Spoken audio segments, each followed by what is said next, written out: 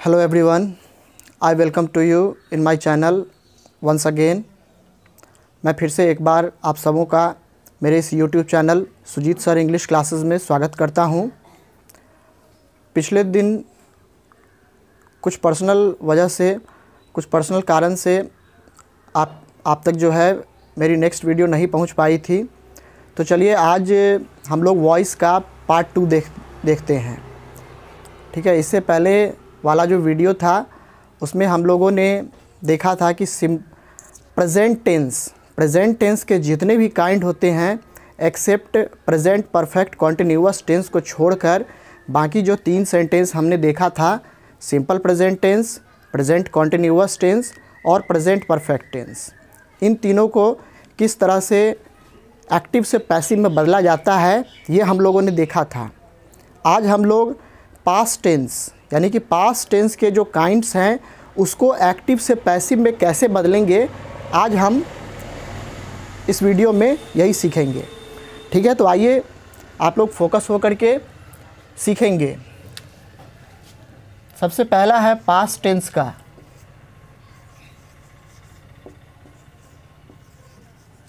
Past tense का पहला kind होता है लेट्स मेक इट टू तो पहला पार्ट है simple past simple past tense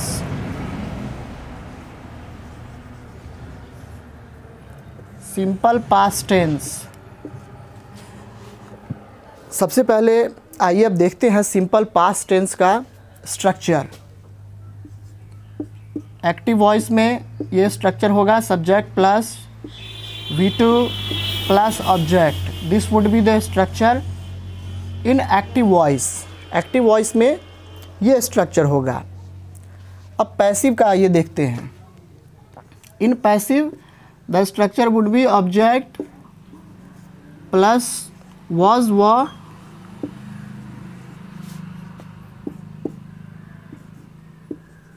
plus V three plus by and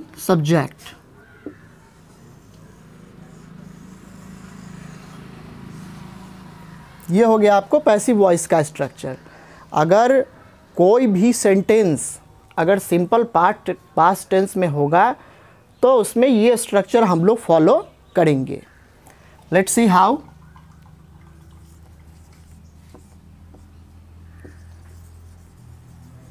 they played they played kabaddi they played kabaddi. ये आप देख रहे हैं प्ले। प्ले का वर्ब टू होता है पास्ट पास्ट फॉर्म प्लेड ठीक है? तो ये अब आइए इसको कैसे बनाते हैं? Kabaddi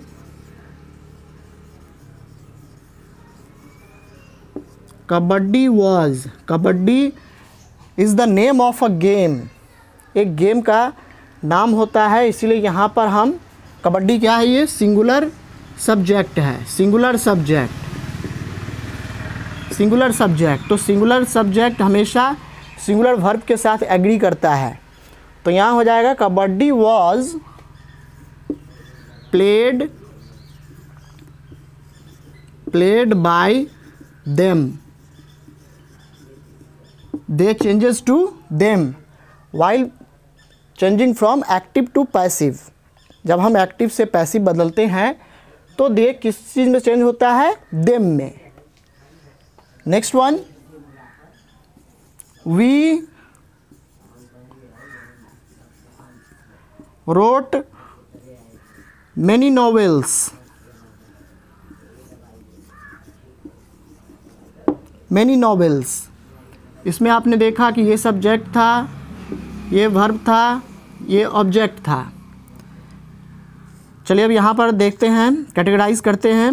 ये subject verb and this is the object so object will come in this side object will take the place of subject many novels ध्यान दीजिए आप लोग।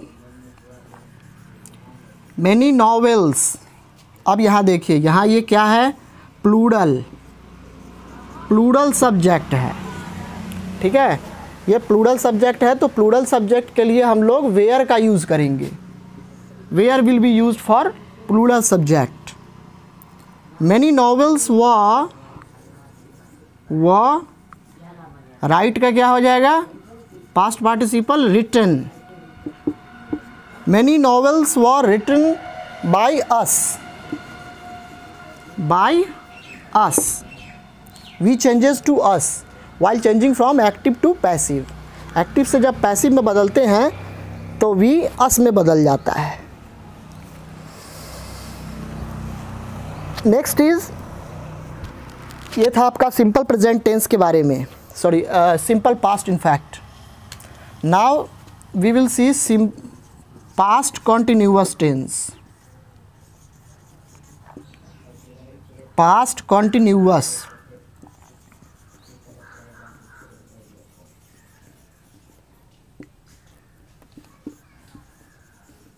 अब हम लोग सीखेंगे कि अगर कोई भी सेंटेंस पास्ट कॉन्टिन्यूस टेंस में होगा तो उसको हम एक्टिव से पैसिव कैसे बनाएँगे?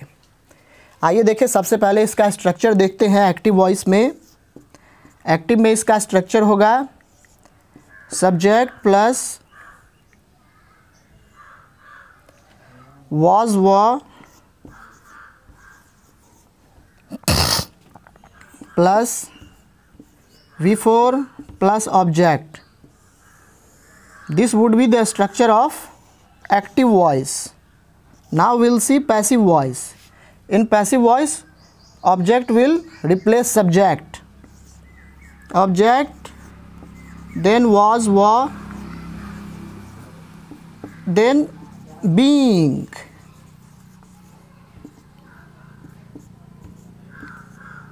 V3 plus by plus subject इसको याद रखने का एक ट्रिक है। आपने देखा होगा कि प्रेजेंट कॉन्टिन्यूस में भी हमने कुछ इसी प्रकार से बदला था। ठीक है? सिर्फ़ उसमें प्रेजेंट कॉन्टिन्यूस टेंस में क्या था? इज़ आर एम था यहाँ हेल्पिंग वर्ब के तौर पे और यहाँ पर हम लोग वॉज़ वेयर का यूज़ कर रहे हैं। ठीक है? तो उसके बाद सिर्फ़ बींग जोड़ देना है। बींग सिर्फ़ ऐड करना है पैसिव में। बाकी सब आपको वही रहेगा। वी थ्री ये तो कॉमन है। सब्जेक्ट ऑब्जेक्ट ये सब कॉमन है। सिर्फ़ आपको वर्ब फॉर्म्स और हेल्पिंग वर्ब मेमोराइज करना है कि क्या यूज़ किया जाएगा। अब आइए कुछ एग्ज़ाम्पल के साथ इसको समझते हैं बेहतर ढंग से।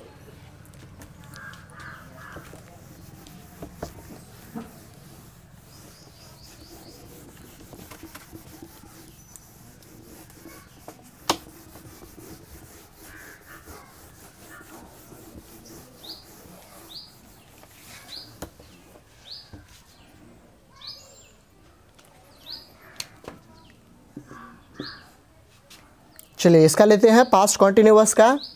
Example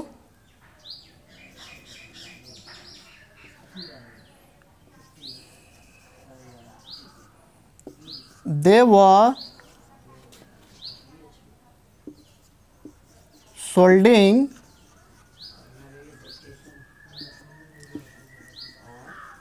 their cars वे लोग अपनी अपनी गाड़ियाँ, अपनी अपनी कारें बेच रहे थे। तो यहाँ देख रहे हैं, यहाँ ये आपका हो गया, पहले इसको आइडेंटिफाई कर लिया जाए subject this is the verb and this is the object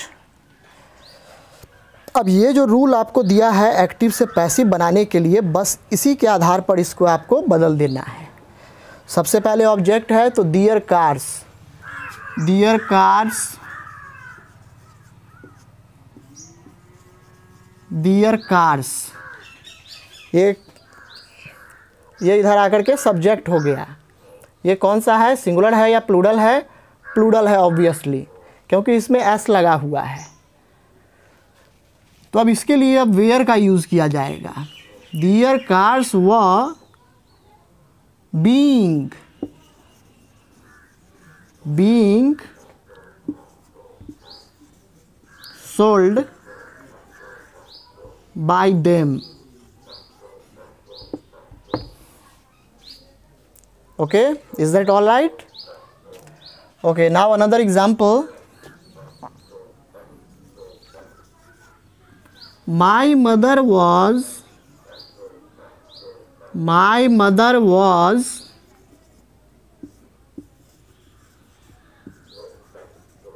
cooking cooking food. मेरी माँ भोजन पका रही थी।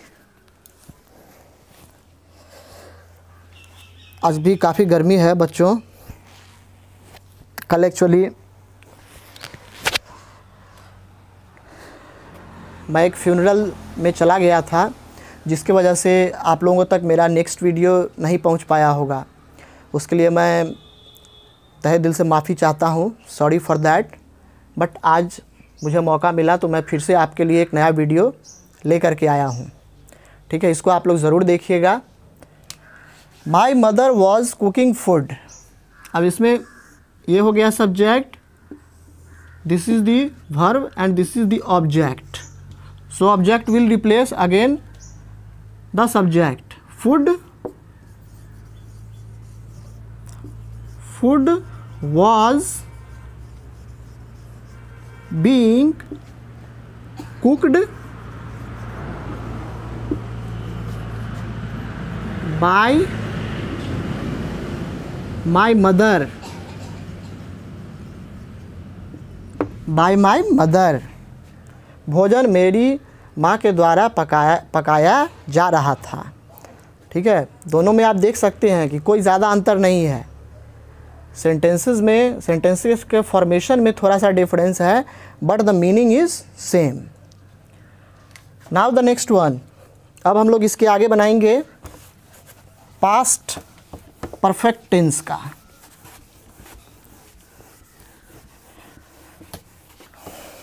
चलिए आइए देखते हैं past perfect tense third kind of past tense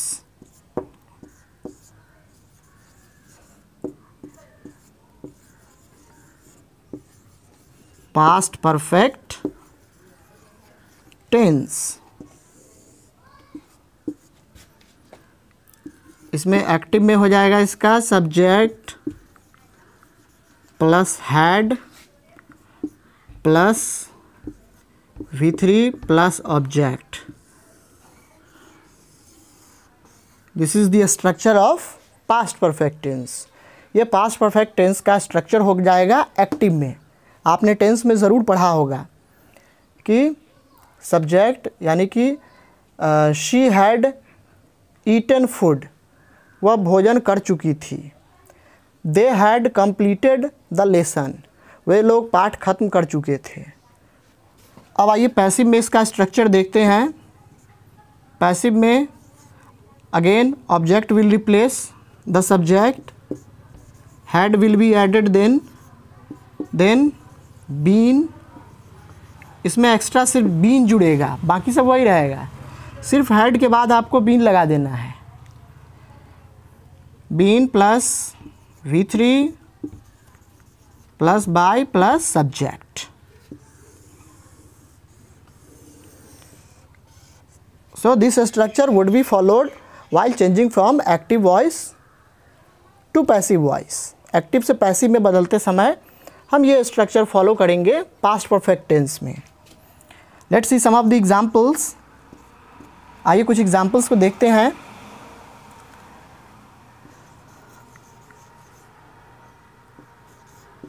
The police had the police had caught, the police had caught the thief. The thief police चोर को पकड़ चुकी थी। चोर को पकड़ चुके थे। आइए यहाँ थोड़ा से देख लिया जाए एक बार। ये this is the subject this is again the verb and this is the object object will replace again the thief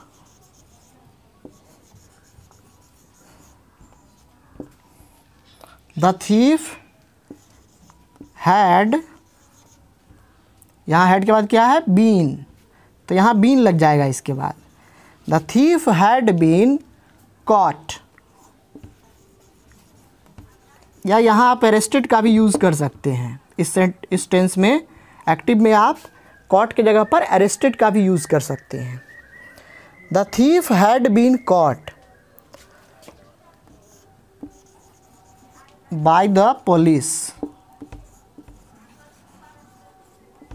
किसी किसी बुक में आपको इस तरह से भी दिया हुआ होगा। Means both can be followed दोनों को हम लोग फॉलो कर सकते हैं। एक रूल मैंने आपको पिछले वीडियो में भी बताया था। अगर आपने पिछला वीडियो नहीं देखा है तो आप यूट्यूब चैनल को सब्सक्राइब करके पिछला वीडियो भी देख सकते हैं। ठीक है? इसमें मैंने एक रूल बताया था कि if the subject is known if the subject is known then it is not need to mention while changing from active to passive active से पैसिव में बदलते समय अगर मान लीजिए कि सब्जेक्ट नोन है तो वो वहाँ पर डालना ज़रूरी नहीं है। ठीक है? The thief had been caught by the police चोर को पकड़ा, चोर को अगर पकड़ता है अरेस्ट करता है तो कौन पकड़ता है? कौन अरेस्ट करता है? Obviously the police so here this is not need to mention. By the police is not need to mention लेकिन किसी किसी बुक में आपको दोनों तरह से दिया हुआ रहता है, इसी तरह से। The thief had been caught फिर उसके बाद स्लैश दे करके बाई द पुलिस यानी कि दोनों रूल आप फॉलो कर सकते हैं। चलिए उसके बाद चौथा एक और एग्ज़ाम्पल ले लिया जाए इसमें। The children had the children had completed completed their homework their their homework यहाँ अगेन आप देख सकते हैं थोड़ा सा एक बार subject had completed verb and their homework object object will again replace the subject so here subject would be their homework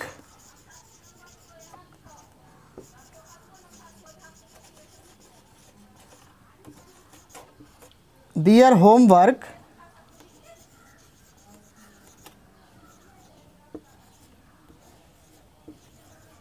had been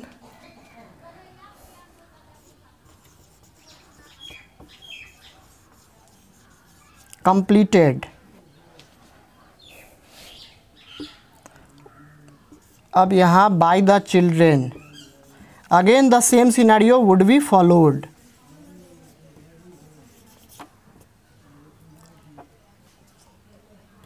यहाँ पर भी वही सिनेरियो फॉलो किया जाएगा their homework had been completed homework जो दिया जाता है, वो ऑब्वियसली बच्चों को ही दिया जाता है, ठीक है? तो यहाँ पर फिर से बाई द चिल्ड्रन मेंशन करना ज़रूरी नहीं है। चलिए, ये तो था पास्ट परफेक्ट के बारे में। अब पास्ट परफेक्ट कॉन्टीन्यूस टेंस जैसा कि मैंने आपको प्रेजेंट परफेक्ट कॉन्टीन्यूस टेंस के बारे में भी बताया था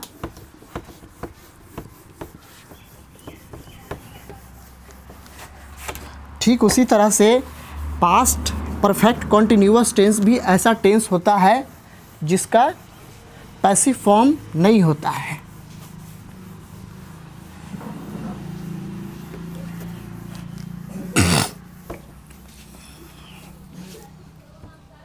प्यारे बच्चों, जिस तरह से मैंने आपको प्रेजेंट टेंस को वॉइस में कैसे बदला जाता है, उस समय मैंने इस बात पर थोड़ा सा चर्चा भी किया था।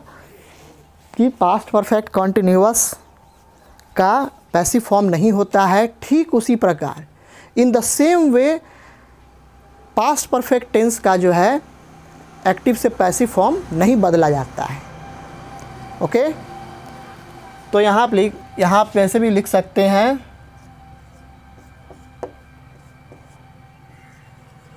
Past perfect continuous past perfect continuous इसके आगे आप लिख सकते हैं नो चेंज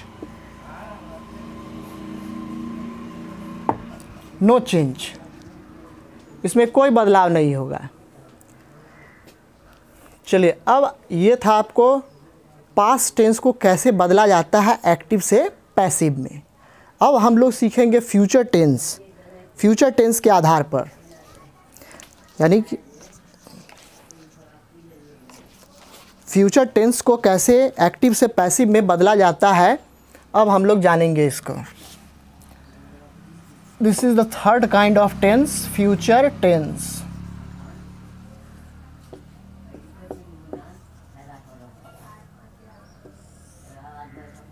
future tense का पहला काइंड है simple future simple simple future simple future आपने टेंस में पढ़ा होगा, जिस हिंदी वाक्य के अंत में गा, गे, गी लगा हो, उसे सिंपल फ्यूचर टेंस कहते हैं। इसमें एक्टिव का स्ट्रक्चर होगा subject plus shall will plus V one plus object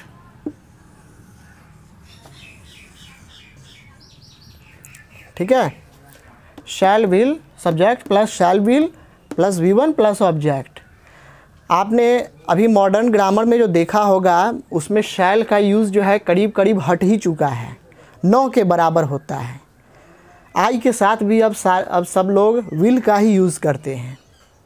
ठीक है ना? आपने ज़रूर देखा होगा, या आपने स्कूल में कॉलेजेस में भी ज़रूर पढ़ा होगा। तो आइए देखते हैं, लेकिन फिर भी जो रूल है, उसके अनुसार हम लोग इसको सीखेंगे। इसमें पैसिव में हो जाएगा object plus shall will plus be plus V three plus by plus subject ये आपको हो जाएगा पैसिव का स्ट्रक्चर और लाइट चलिए, अब example will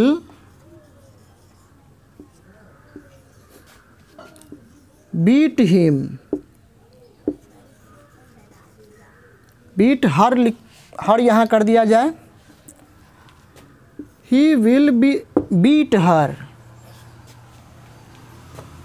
ये आपको सब्जेक्ट ये वर्ब ये ऑब्जेक्ट अब ऑब्जेक्ट हर जो है इधर आकर के क्या हो जाएगा शी शी के साथ भी विल का यूज़ करेंगे। She will be she will be beaten by he would be change to him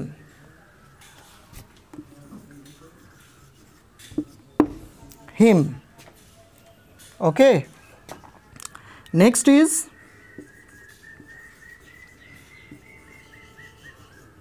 you will tell a lie you subject will tell verb a lie object फिर से अब object इसी नियम के अनुसार आपको बस चेंज कर देना है Ali will be told by you Ali will be told by you यानी कि तुम तुम झूठ बोलोगे और तुमसे झूठ बोला जाएगा। ठीक है? नेक्स्ट अब आते हैं फ्यूचर कॉन्टिन्यूअस इसका कोई पैसिव फॉर्म्स नहीं होता है। Future continuous tense tense doesn't have passive form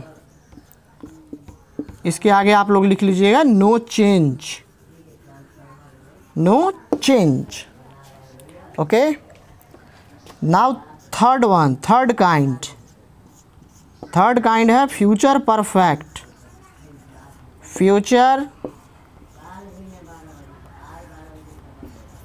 perfect tense future perfect tense. इसमें एक्टिव में स्ट्रक्चर होगा इसका। Subject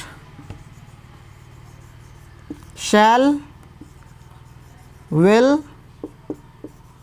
then have then V three then object V three is also called the past participle form of the verb v3 को हम लोग, यानी कि verb के तीसरे फॉर्म को हम लोग past participle form of the verb भी कहते हैं।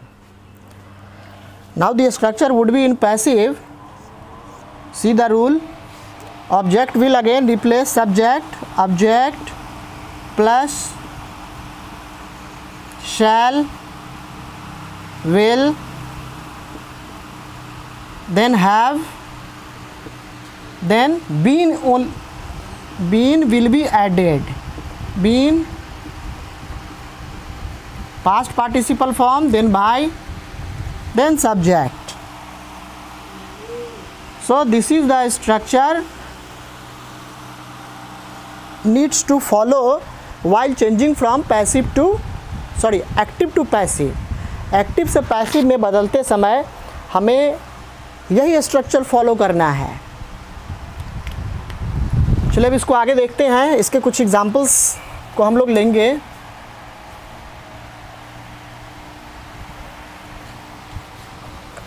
ध्यान दीजिएगा आप लोग।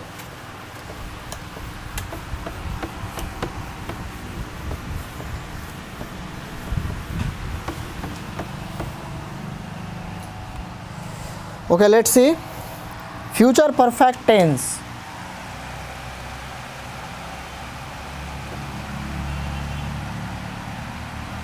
I will have I will have completed the project completed the project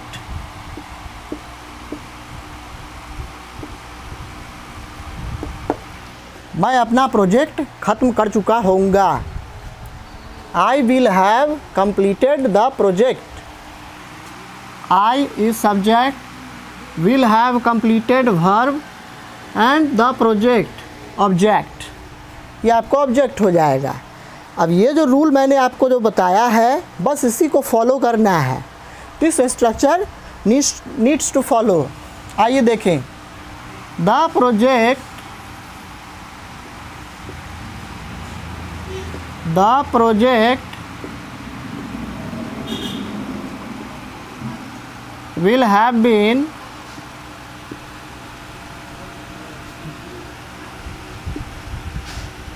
completed the project will have been completed by me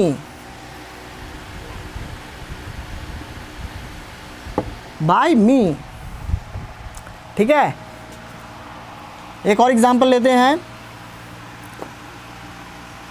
we shall have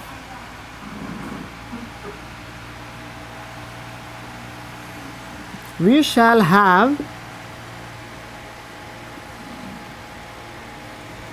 sung the national anthem.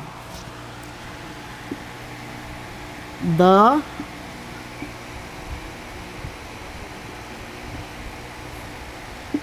national anthem.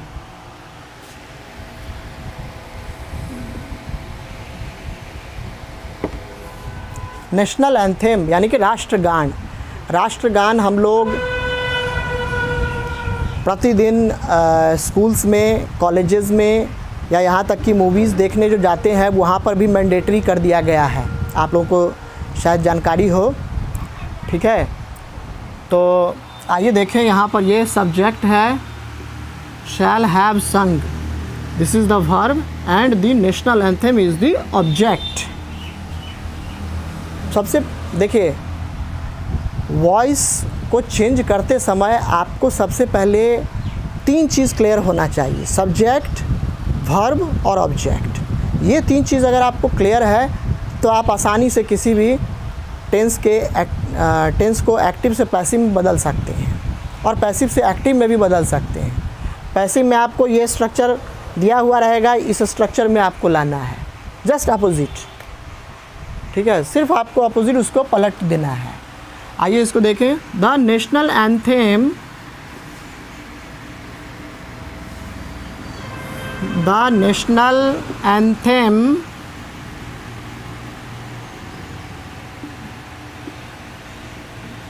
will have been, will have been sung यहाँ पर फिर से चूँकि national anthem में तो सभी लोग शरीक होते हैं। All all of us take participation in national anthem while it is sung जब ये गाया जाता है तो हम सभी इसमें भाग लेते हैं। तो it is not need to mention the subject यहाँ पर यहाँ पर भी आपको सब्जेक्ट लगाने की कोई ज़रूरत नहीं है। The national anthem will have been sung गाया जा चुका होगा। ऑब्वियसली हम ही लोग गाएँगे। तो यहाँ पर आपको सब्जेक्ट डालना ज़रूरी नहीं है। चलिए तो ये था हाँ उसके बाद आता है, ये तो था फ्यूचर परफेक्ट टेंस का। अब आते हैं future perfect continuous future perfect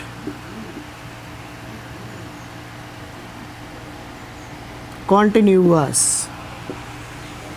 इसका भी हो जाएगा नो चेंज नो चेंज तो प्यारे बच्चों, ये आपका टेंस के आधार पर एक्टिव से पैसिव में कैसे बदला जाता है, ये आपका कंप्लीट हुआ।